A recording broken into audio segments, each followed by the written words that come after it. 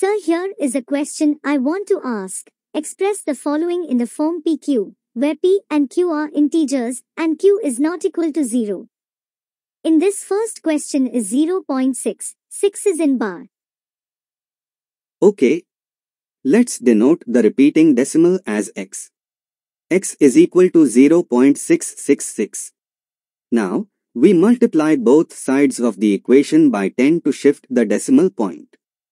10x is equal to 6.666. Next, we subtract x and x value. 10x, x is equal to 6.666. 0.666. 9x is equal to 6.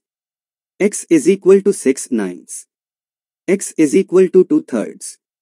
Therefore, the decimal number 0.6 with the recurring bar over the 6 can be expressed as the fraction 2 thirds.